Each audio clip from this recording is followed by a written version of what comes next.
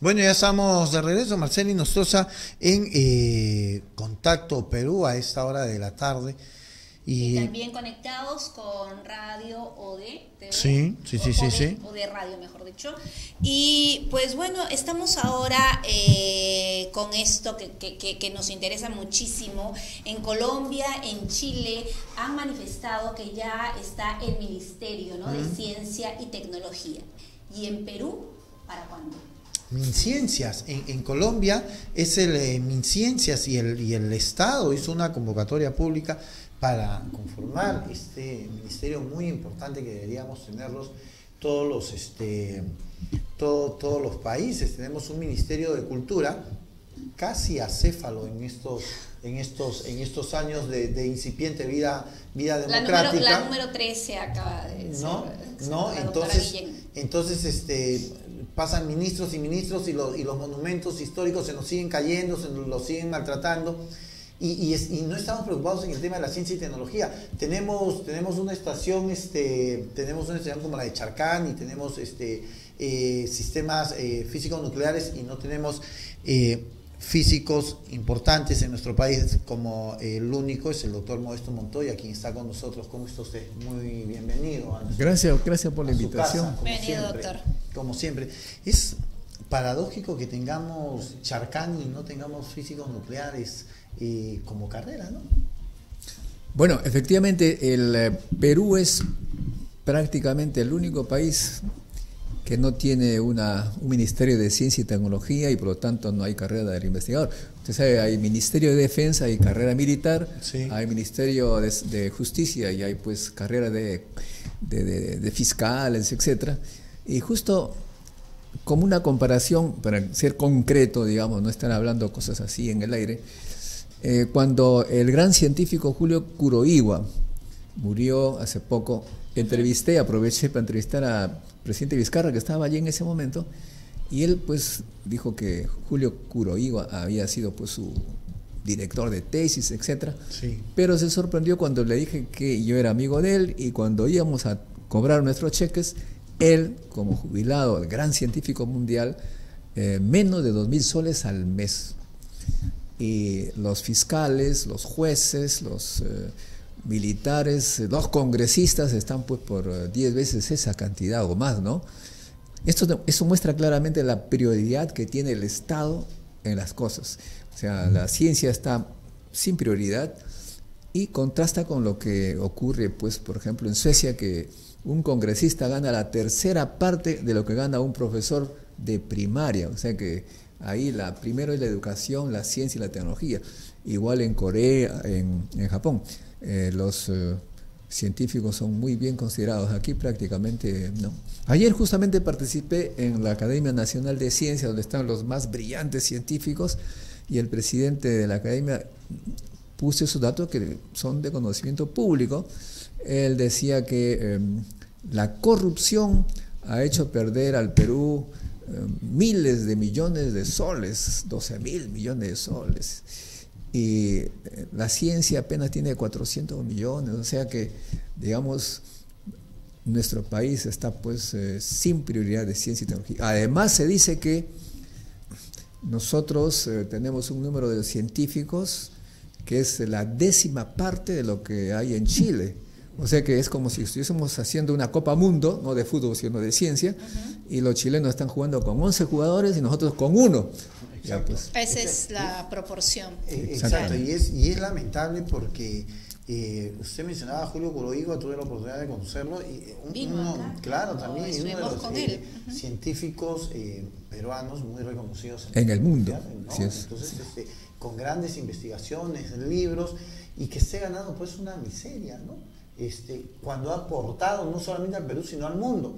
Y estos congresistas que no han aportado pues, ni siquiera para su casa, entonces este, eh, ganen un sueldo mucho más insultante que el, eh, que el propio Prodigo. Y, esto y algunas, y algunas personas allí dicen que ganan poco además. Exacto, que no les alcanza, que están chihuahua.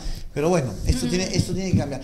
Pero cuando hablamos de tecnología, y no tenemos tecnología en nuestro país. Yo leí hace unos años que en China los niños o los adolescentes antes de irse al colegio armaban un reloj de estos tipos digitales, ¿no? Terminaban de armarlo.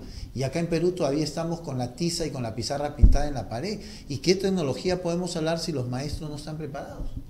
Acaba de decir una palabra importantísima, los maestros no están preparados. ¿Y por qué no lo están? Porque eh, hace ya buenas décadas que los profesores ganaban eh, algo así como 500 soles, ¿no? Entonces, obviamente, los jóvenes más brillantes, más inteligentes, eh, no buscaban esa carrera. Entonces, los que se dedicaban a la docencia no eran pues los más aplicados. Si no eran los más aplicados, ¿cómo van a enseñar bien?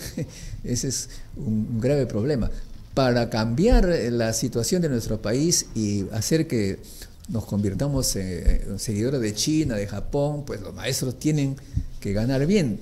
No necesariamente los que están ahora, sino convocar a concursos para nuevos colegios y nuevas universidades también, en la que los nuevos profesores ganen normalmente bien. Eso con ello pondrían los muchachos del exterior. Nosotros tenemos brillantes científicos, peruanos, pero que están en las universidades de los países del norte. Nosotros tenemos un encuentro científico internacional todos los años, dos veces en París, y vemos ahí la calidad de científicos, pero no quieren venir porque acá el Estado ha congelado, así, la palabra es esa, congelado todo lo que es ciencia y tecnología. ¿No le interesa? aparentemente nada. Mira, tú sabes, ya me ves con un montón de escanas. Cuando ingresé a la UNI en el año 67, los profesores ganaban más o menos bien, ¿eh?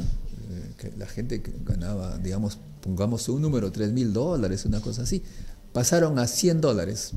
Y luego además congelaron el número de profesores y alumnos desde que yo ingresé en la UNI, hace 50 años, el número de profesores y el número de alumnos es el mismo porque no hay recursos para ellos. O sea que el Estado aparentemente ha decidido que hay que congelar la ciencia, la tecnología, la educación superior. Y por esa razón han surgido pues eh, innumerables instituciones privadas, colegios privados, universidades privadas, y encima queremos controlarlas, etc.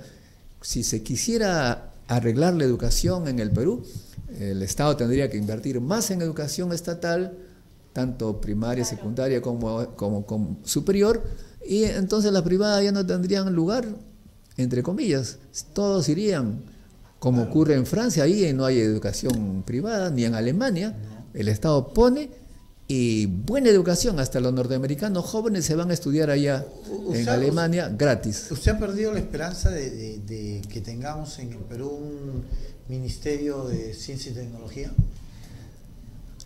Bueno, como todos los peruanos hemos perdido esperanza en los políticos.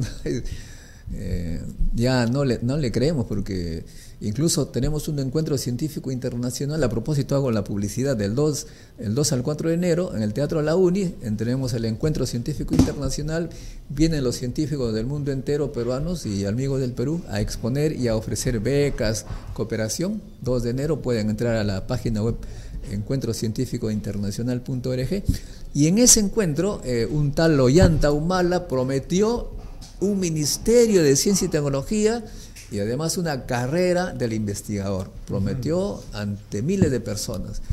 Y, hasta ahorita. Y sus, y sus asesores, uno de los cuales ahora está candidateando como un número uno en una lista que no quiero mencionar, se opusieron a la creación del ministerio entonces, imagínate, si esa gente comienza a postular con esas ideas, ya pues eh, tendremos pronto otros ministerios vecinos, el país vecino y el nuestro pues estará. Pero a razón de qué? ¿A razón de qué la oposición para crear el ministerio de... Bueno, generalmente, la, mire, e, e, esto es muy sencillo. Yo quiero pensar, como dicen, piensa mal y acertarás, ¿no? Eh, ustedes han visto Francia cómo la gente está reclamando. ¿Por qué creen que reclaman? Porque esa gente tenía, como Estados Unidos también, están con problemas económicos, esa gente tenía grandes beneficios porque tenían el monopolio de la tecnología. Nos vendían el televisor a 10 veces lo que vale, ¿no?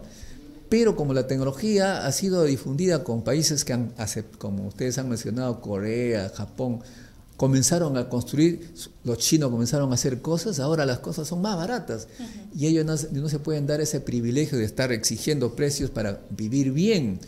Y Obviamente, si todos los países como el nuestro comenzaran a construir cosas, a inventar, sus problemas serían todavía más graves. O sea que de alguna manera hay una forma de estos países de tratar de impedir que la ciencia y tecnología se disperse en el mundo porque los precios de los productos tecnológicos bajarían y tendrían que disminuir las, los privilegios que tienen, como los franceses, por ejemplo, que ya les quieren disminuir la pensión porque no les alcanza, porque ya no pueden vender como antes, ya los chinos han invadido su territorio. aparte que con la ciencia, pues, ¿cuántos avances médicos tendríamos? Además, mira, todo lo que pagamos nosotros por las medicinas, y, no inventamos nada porque no hay científicos. Si nosotros inventaríamos algún tipo de medicina, también estaríamos vendiendo, estaríamos compitiendo. Ahí está la persona esta que ganó en, un canal internacional la galleta para, para los niños, para la anemia justamente. Ahí está, ¿ven? Y lo hizo, ganó, científico. Eh, ¿Por qué no hacer más de eso? porque eh, por el temor a que ya no vendan las pastillas de hierro. De, aquí a que tengamos, de, aquí a que tengamos un, ministerio de ciencia y tecnología, ya, vamos, ya no vamos a tener materia prima, porque toda se la está llevando. Este, no, la materia prima, mira, la materia prima no me preocupa, muy, preocupa mucho porque la riqueza no es la materia prima, la, riqueza es lo que está acá. Eh, por ejemplo, las computadoras que nosotros tenemos por todos lados. ¿Cuál es la materia prima de una computadora? La arena, el silicio. Todo esto es puro conocimiento, ¿no? De modo que eh, lo importante es que ya nos olvidamos de los políticos, los gobiernos, los padres de familia tienen que darse cuenta de ello. Yo me dirijo en este momento a los papás, a ustedes y a los abuelos. Ustedes lo que tienen que hacer es eh, eh, formar a sus niños en sus casas desde chiquitos en ciencia y tecnología. Los países, las potencias los están buscando como agujas en un pajar y los llevan y les dan unas condiciones increíbles. O sea que eh, la mejor carrera para los niños es la ciencia y la tecnología. Mis hijos, desafortunadamente, debo decir con mucha pena, mis hijos, los tres están fuera, pero están muy bien. Y no puedo decir las condiciones en que están viviendo, pero muy buenas. ¿Por qué? Porque allá en esos países la ciencia y tecnología es considerada estratégica y su gente la trata bien. No pueden venir porque ya les conté, pues eh, aquí no hay trabajo para científicos, lo están cerrado todo. Y hay una política... Eh, ayer escuché a un gran científico peruano, Abraham Weisberg, que dijo que cuando regresó había sentido un ambiente hostil a la ciencia. Imagínense eso. De modo que eh, los padres de familia tienen esta oportunidad. nosotros hacemos eso un poquito, tenemos un semillero científico, pueden entrar a mi sitio web modestomontoya.com y la misma educación que le di a mis niños chiquititos, además de colegio, iban a hacer eh, experimento con nosotros y eso les permitió ganar concursos internacionales. En otras palabras, quiero decir que los padres de familia ya tienen que tomar sus decisiones casi personales con los niños, porque los gobiernos ya no hay es, esperanza. Y es, triste, doctor, porque ahorita que está comentando esto de padre de familia, yo tengo dos niños, ¿no? Uno de ellos tiene 11 años, ya para cumplir 12, y él desde muy chiquito siempre me ha dicho que él quería inventar el carro volador. Digo, hijo, ya están por terminar, ya lo están inventando, ya está. Bueno, mamá, entonces el, eh, el combustible que no contamine, hijo, también ya están inventando, ya están por terminar.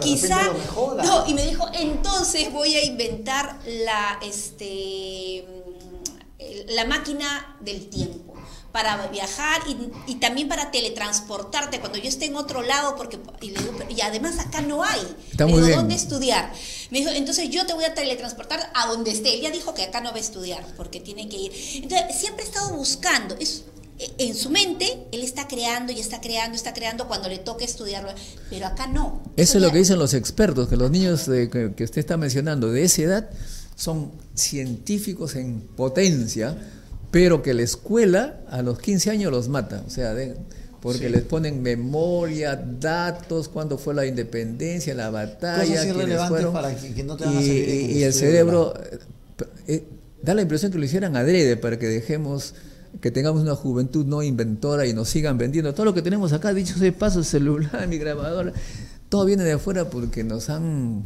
bloqueado, erosionado el cerebro. Exacto. Eh, del 2 al 4 de enero está el congreso, este encuentro en el Teatro de la eh, Uni, en, el teatro de la Uni este, este, encuentro que va a haber de físicos. Encuentro de científicos. Sí, ¿hay algún candidato que ha mostrado un interés? No, nosotros, miren, esta página es, ustedes, cualquier el que está viendo esto, Encuentro Científico Internacional, todos aquellos que quieren decir algo en ciencia y tecnología ponen su resumen allí y exponen.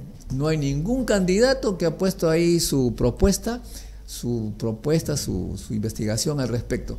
Eh, y nosotros no vamos a invitar a nadie porque no es nuestra costumbre. Ya invitamos, como dije, a algunos mentirosos que nos han engañado, nos han estafado. Como Llanta. Pero tampoco a Humala y su gente, y uno que está candidateando, que fue presidente de la comisión que se opuso al, ministerio. Pero tiene que decirnos quién es para no votar por él. No ¿ah? averigüen pues quién fue el presidente de la comisión. ¿Qué pasaría si hicieran el Ministerio de Ciencias y Tecnología? ¿Y, qué pasaría? Que hacen el Ministerio de Ciencias y ah, Tecnología y le ofrecen a usted. No, olvídese, olvídese de, Modesto Montoya. ¿Pero aceptaría? Eh, no, no, no, yo no aceptaría porque me da vergüenza estar proponiendo cosas para luego decirme yo no.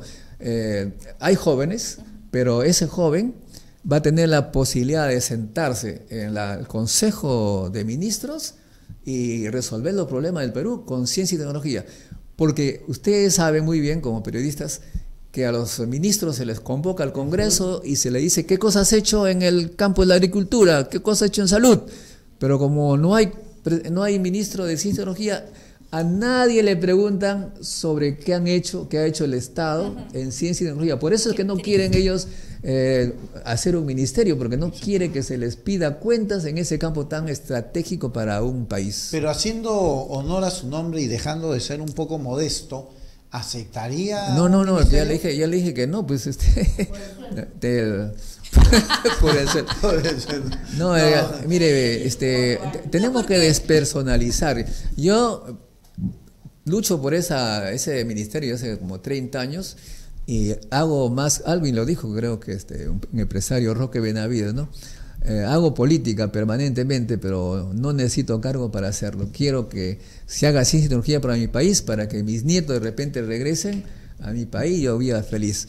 Eh, los cargos los cargos administrativos hasta en cierta manera eh, son un poco difíciles, ¿no? Exacto. Los ministerios, los ministros y los congresistas son nuestros servidores públicos, hay que hacerlos, hay que exigirles. ¿De qué forma? Y nosotros, mire, lo que estamos haciendo, eso sí, le cuento, ah, por si acaso, hemos puesto lo que se llama un partido de la ciencia eh, eh, digital. Usted si está convencido de partido de la ciencia.com, ahí se inscribe como militante, partido de la ciencia.com, pero ¿para qué? Para exigir a quien quiera que está como servidor público en el ministerio, en el Congreso, haga las cosas que debe hacer en ciencia y tecnología. Y también deberíamos hacerlo por educación. Hay que exigir, hay que manifestar, así como están en Chile, en Colombia, para manifestar la necesidad de una educación que saque al país de la pobreza. Si no lo hacemos, vamos a estar lamentando nosotros, nuestros nietos y los que vienen. El Estado debe hacerle un merecido homenaje a Julio Curoigua y reconocerle el esfuerzo que hizo no solamente en el Perú, sino de poner en alto el nombre en todos los países. Claro, incluso tendríamos que tener este, varios monumentos y ciudades eh, con ese nombre, ¿no? Porque justamente entrevisté al, rector de la UNI, que fue su alumno, y me dijo que hay una red sísmica para el problema de los temblores y le dije, a esa red deben llamarlo pues por lo menos Julio Coroiba. Ah, buena idea. Pues ahora estoy esperando que sea. ojalá, ojalá sea. Modesto Montoya, científico y físico nuclear, estuvo con nosotros. Muchísimas gracias por haber Y debería, a propósito, esta universidad que estoy proponiendo, una universidad de élite donde ingresan los mejores alumnos, los mejores profesores, podría poner el nombre de Julio Correigua. Ojalá, y que esto se pueda eh, concretar. Del 2 al 4 de enero, ya saben, en el teatro. Gratuito. Uni, así es, va a ser el, encuentro científico internacional, no se lo pierdan, y también pueden entrar a la página web ¿no? de modestomontoya.com. O al partido de la ciencia.com. Muchísimas gracias, doctor Modesto Montoya, por haber estado con nosotros, físico nuclear. No hay tiempo para más, Marcelo, y nosotros Ay, qué triste por favor, que ojalá el presidente Vizcarra haya visto o alguien le diga por ahí. No, sí lo ha visto. Ministerio de Ciencia. Ten por seguro que nos han escuchado. Ya, nos urge si queremos realmente la corrupción, si está bien la lucha contra la corrupción, pero por favor, el ministerio también es muy importante justamente para eso, para dar nuevas eh, estrategias, para crear, para hacer un Perú mejor.